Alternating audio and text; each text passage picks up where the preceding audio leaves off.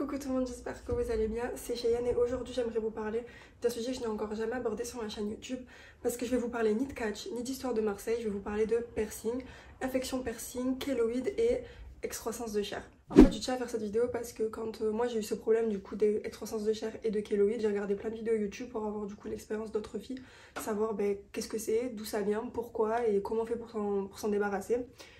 Et j'ai essayé beaucoup de techniques et c'est pour ça que du coup j'aimerais vous partager mon expérience et les résultats. Alors à l'heure à laquelle je vous parle aujourd'hui, j'ai toujours mes keloïdes parce que ben, je voulais vous les montrer avant euh, d'avoir un résultat. Là, quelle heure il est? 9h30, j'ai rendez-vous à 11h euh, chez un dermato aujourd'hui. Donc on est quel jour? On est le 2 février 2022.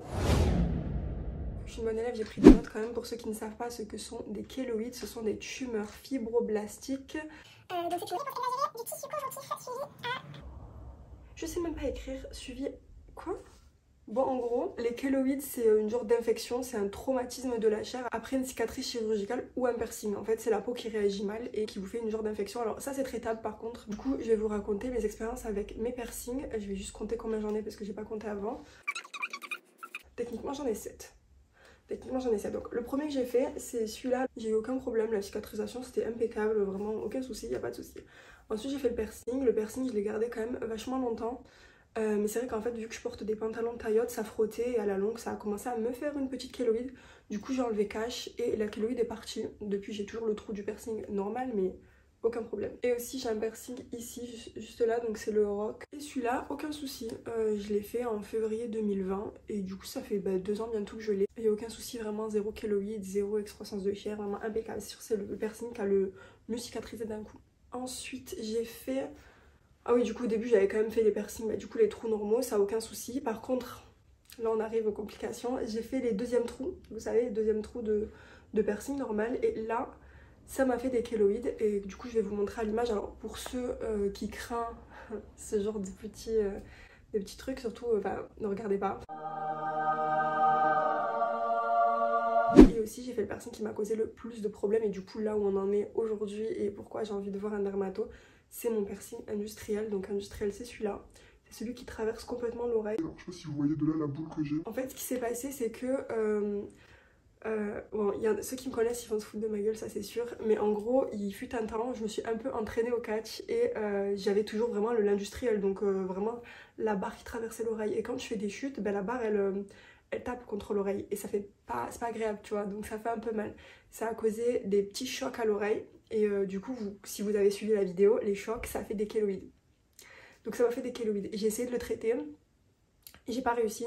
Et donc ensuite euh, d'avoir des chocs euh, quand je m'entraînais, j'ai arrêté de m'entraîner du coup. C'est pour ça, voilà, pour tous ceux qui me demandent pourquoi je m'entraîne pas. Parce que j'ai la flemme, mais aussi parce que du coup j'ai un problème à l'oreille. Donc ensuite j'ai eu le coup fatal de mon oreille, c'était à l'anniversaire d'une copine, on était parti faire des attractions et moi j'adore les attractions, du coup j'ai dit oui. Et j'avais déjà enlevé le l'industriel en fait. J'avais mis un piercing, bah, celui-là, et je l'avais mis ici aussi. Parce que du coup la barre ça me faisait vraiment trop mal, à chaque fois qu'il y avait des chocs et tout, c'était infernal. En plus je suis maladroite donc je me prenais des portes dans les oreilles, enfin vraiment une angoisse, ce piercing, une angoisse. Donc j'avais uniquement deux anneaux différents, mais ça n'empêchait pas qu'il y avait une kéloïde qui était en train de se former. Tu vois ce que je te dis Bref. Et du coup euh, j'avais déjà mal à l'oreille, c'était sensible, je veux dire si tu touches... Euh, ça fait mal. Je disais donc dans le dans l'attraction, du coup on était attachés vous savez c'est euh, de c'est un peu comme une araignée à plusieurs pattes et ça tourne et la capsule elle tourne sur elle et ça tourne comme ça, enfin genre ça tourne beaucoup tu vois. Et du coup toi dedans tu fais des va et tu tu fais des va et tu fais des viens, même si t'es accroché tu fais quand même tu vois genre voilà. Et à un moment donné dans l'attraction du coup je suis projetée en avant, je suis projetée sur le côté et fort je suis projetée en arrière et du coup mon oreille elle a elle a vraiment passé comme ça, mais très très euh, violent. Et quand je suis sortie, mon oreille était, mais vraiment, elle, clignotait, tu vois. Genre, c'était rouge et ça faisait vraiment très mal. Ça a gonflé, gonflé, gonflé, gonflé, ça s'est jamais arrêté. Il y a eu aussi un deuxième coup fatal, en fait, c'est quand j'étais du coup manager de Lucas Minil. Euh, je vais vous mettre les images tout simplement. En fait, euh, je m'étais pas vraiment entraînée en soi, il y avait rien de fou. Parce que du coup, je m'entraînais pas justement pour pas qu'il choc à mon oreille. Mais rien que de m'entraîner à me recevoir un coup et un deuxième coup dans la même soirée. Et plus je pense le mélange de, le mélange de chaud et peut-être de transpiration autour des cheveux et des oreilles, j'en sais rien. Mais ça a fait une deuxième euh, infection de l'oreille en plus de ce que j'avais déjà et mon oreille elle a recommencé à gonfler. Donc j'ai dû faire euh, un arrêt maladie tellement parce que bah, du coup j'arrivais pas à dormir sur mon oreille. Ça me faisait trop mal, j'ai dû prendre euh, des traitements.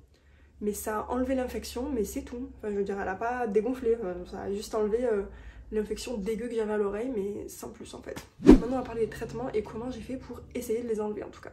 Donc j'ai testé euh, l'aloe vera, bon je l'ai pas sur moi du coup je peux pas vous montrer mais ça n'a pas marché de toute façon. Ensuite ce que j'ai essayé, du coup je suis allée en pharmacie, je me suis fait conseiller et c'est aussi euh, d'après les vidéos que j'ai regardées sur YouTube, c'était de l'exomédine. Donc de l'exomédine, je pense que ça a marché mais pas plus que ça en fait, ça a réduit un petit peu mais sans plus, ça ça n'a pas réduit de fond. Euh, en fait il faut tremper dans un coton de tige et du coup le passer autour de la kéloïde. Il faut jamais remettre le coton de tige qu'a touché la kéloïde dans le le pot, sinon ça va du coup infecter toute la solution, toute la solution, tout le produit.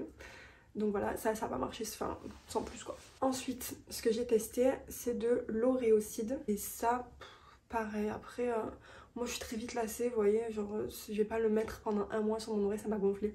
Honnêtement, je l'ai fait pendant une semaine, mais vraiment matin, matin et soir, pendant une semaine, pendant 7 jours. Donc je l'ai quand même fait 14 fois d'un coup. Et ah, rien, que dalle, ça n'a rien fait, euh, donc j'en ai vite eu marre. Donc je me suis dit, je vais passer par la solution radicale, je vais, prendre, je vais aller voir un dermato et je vais me le faire laseriser. Donc celui-là, celui-là et celui-là, j'ai envie de me les faire laseriser parce que j'en ai marre. Voilà, tout simplement. Tu montres à tout le monde c'est qui Le chat qui Oui, c'est toi, mon chat qui me traumatise, oui. Oui. Aouh Ça dégage. Bref, là il est 9h40 et j'ai rendez-vous à 11h au dermato, du coup ben, je vais me préparer et on va y aller ensemble et puis, euh, et puis on va voir si une solution pourra m'être trouvée. A tout à l'heure.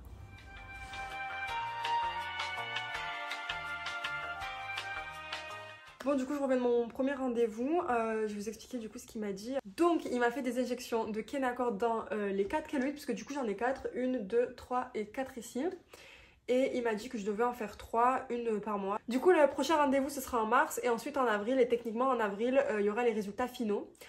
Du coup, je dis trop du coup. Là, à l'écran, je vous mets à quoi ressemblaient mes kéloïdes euh, juste au moment de sortir. En fait, c'était tout blanc parce que c'était rempli de produits. Si vous voulez savoir la douleur, en fait, ça fait mal dès que dès qu'il rentre, mais après, après ça va quoi. Je veux dire, ça pique un peu, c'est désagréable, c'est surprenant, mais c'est pas non plus la fin du monde. On va pas se mentir, le piercing en lui-même, je pense qu'il fait plus mal. J'allais dire du coup.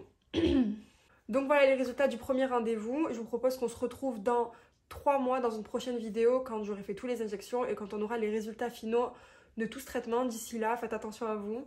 Je vous fais des bisous et à la prochaine. Ciao tu peux leur dire s'il te plaît euh, de liker la vidéo et de s'abonner Dis-leur, c'est par là-bas.